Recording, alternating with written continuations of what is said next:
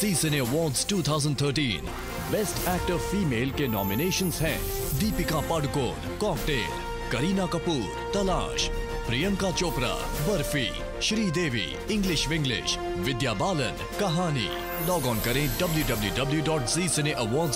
पर अवार्ड देने का हक है हक है हक है आपका है